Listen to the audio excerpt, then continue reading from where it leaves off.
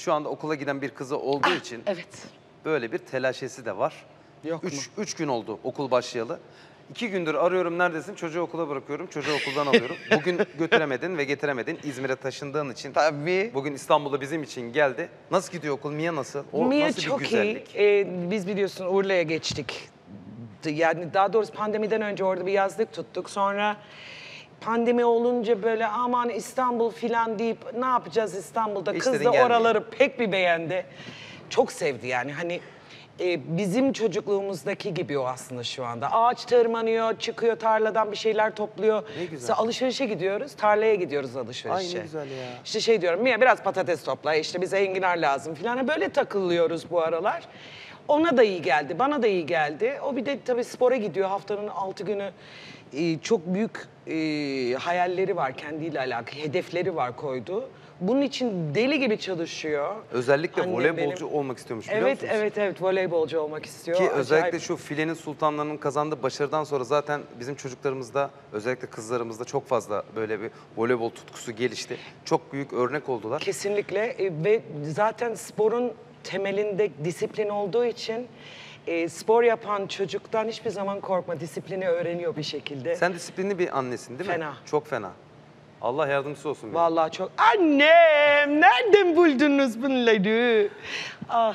Nasıl da güzel bir kız. Allah bağışlasın. Bütün e, şu an ekran başında bizi izleyen herkesin evlatlarına Allah bağışlasın ama Mia ben bir kere canlı görmüştüm. Bir kere getirmiştim. Zaten fotoğraflardan ne kadar güzel olduğu belli ama böyle bir güzel kız yok maşallah.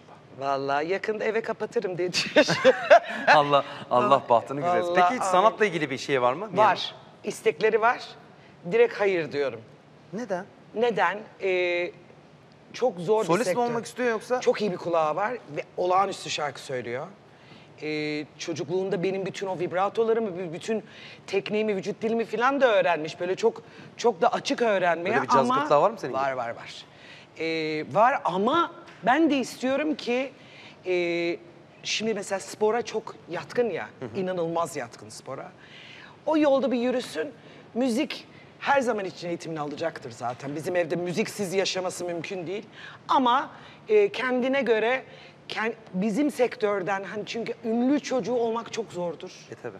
Çok zor. Hep böyle Işın bizim- Karaca'nın kızı diye. Evet, istemiyorum onu. O kendi başına bir kariyeri bizim sektörden bağımsız bir hayatı olsun istiyorum. O yüzden de sporunun sonuna kadar buradan da bizim e, takıma, efor takımına e, Selamlar olsun. selamlar olsun. İnanılmaz e, o bölge, Ege bölgesindeki kızlara inanılmaz bir yatırım yapıyorlar ve inanılmaz çalışıyorlar. O yüzden hepsine buradan selam olsun. Peki nasıldır anne kız aranız böyle en çok nelerde çatışırsınız? E, Aliç biz Artık, artık çünkü büyüdü artık 12 Biz yaşında. artık ergeniz. Bizim evimiz üçe bölündü. En üst kat stüdyo, en alt kat mutfak, salon benim yaşam alanım. Ondan Orta sonra kat Mia'nın. ejderhanın. Çünkü o artık bir ejderha olarak yaşıyor. Brrr diye bütün anneler benimle aynı fikirleri şu an konuşmayı bilmiyor anladın mı? Hani Bir, bir şey diyorsa o nazik benim teşekkür eder. Yine dışarıda herkese inanılmaz zarif ama bana gelince böyle acayip bir ejderhası var içinde böyle. Anneciğim bir şey yapmış. Bir şey geliyor yukarı. Ne olduğunu bilmiyorum. Hani e, yukarıya yemeği atıyorum ve kaçıyorum. Hani ne kadar az muhatap olabilirsem Tam, durumundayız şu tam aralar. şu anda şey zaman bizim Eyşan da öyle. O da 13 yaşında. Çok fena, hele ki çok. kızların tam böyle bu ergenliğe başladığı Ya zamanlar Allah evet. biz annelere sabır asla hani dışarıya, arkadaşlarına, e, ablası falan asla Hiç öyle bir şey yok, mi? bir derdi benle hayattaki derdi. O yüzden e, ama şey böyle Dr. Jekyll, Mr. Hyde kıvamında bir an böyle yukarıdaki ejderhayken Bir 10 anda saniye sonra aşağı gelip böyle bir kucağıma civciv. oturup anne çok seviyorum seni Ay, filan. yerim onu. Hani beni tek ehlileştirebilen insan herhalde bu diyorum. Hani asla yanında Işın Karacalık sökmüyor filan. Asla sökmez yani Annesi, hani. annesi. Asla direkt şey karşıma geçip hesap sorabilen, e, son derece e, iki çocuğumu da şey diye yetiştirmeye çok çalıştım. Ben biraz eski kafalıyım. Çocukların e, örf, adet, Ne güzel. bilmesi gerektiğini, saygı, her şeyden önce saygı bilmesi gerektiği kanaatine. Çünkü çok çocuk görüyorum ve inanılmaz hani Maalesef. içim çekiliyor Biz de izlerken. program olarak hep bunun şeyini yaşıyoruz ve hep söylüyoruz anneler. Yani Çok en başta önemli, çok önemli. Biz- örfünü, adetini, geleneklerini, göreneklerini öğreteceksin. Muhakkak Anneye, babaya, büyüklere saygıyı öğreteceksin. Kesinlikle. Bunun ne güzel öyle bir çocuk yetişiyor. Böyle böyle olması gerekiyor inancındayım. En azından bizim saygı, bi- biz hala büyüklerimiz aşırı saygılı insanlarız. Ben e, babam vefat etmeden önce, rahmet eylesin. 11 sene önce, ben mesela babamın önüne oturup ayak üstüne ayak atmamıştım. Hepimiz öyleyiz. Bu ama buydu yani şimdi mesela şey diyorlar ama ama aması yok ki bunun. Bacak bacak üstüne atmanın diyorlar saygısın varmış. Bu nedir? Olur mu öyle E, şey? olur mu öyle şey? Biz bizde- bizde öyle bir şey Bizde öyle. Ay babam. Bu baba mı?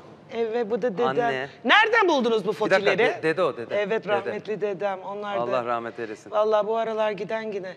Şu fotoğrafları nerede Gamze sen yaptın? Bulduk onların hepsini biz Sen bulduk. yaptın Peki ve bir şey diyeceğim. annemle Mia'nın, çalışmışsın belli. Mia'nın bir de abisi var. Bu genç kadının 30 yaşında Evet. bir oğlu var ya. Evet. Ya İnanamıyorum ya. Biraz erken Sen anne onu oldun. nasıl büyüttün? Hadi Mia'yı görüyoruz da. Gerçi o zamanlar sosyal medya falan çok fazla olmadığı için herkes daha böyle bir Tabii, içine e, doğru e, aile hayatını yaşayabiliyordu. Şimdi 30 yaşında Koca artık bir adam. evlenecek çağda bir oğlun var. ya. Evlenemez filan diyormuş. Korkuyor musun babaanne olmaktan? Ee, yok korkmuyorum çünkü evlenmek istemiyor. O yüzden öyle bir korku bana yaşatmadı. Ayrıca olursa ne güzel severiz.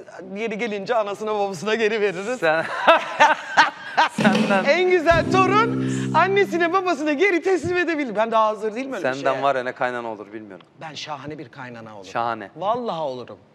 O ben şahanenin- oğlana, oğlan, ben şöyle bir şansım var. O, o annemi düşünecek. Bende o, o şey duygusu yok. Annem onu büyüttüğü için He. O Şeniz'in gazabından korksun. Ben, ben direkt kanka modundayım onunla. Hani biz beraber büyüdük. Çocukluğumuz...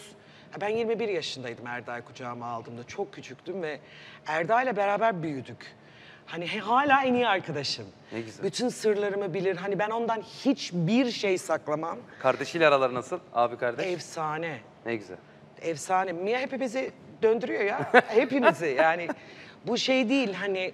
eee, hani abisin, abi sıfatı falan öyle bir şey yok. Niye? Benim Evin patronum. şu anda tek sahibi o zaman. Kesinlikle. Herkesin, ya hepimiz... Şu an okulda olduğu için rahat rahat konuşabiliyoruz Tabii canım arkasında. inşallah sonra da oturup seyretmez programı diye bir duam var kendi Öpüyorum içimde. onu.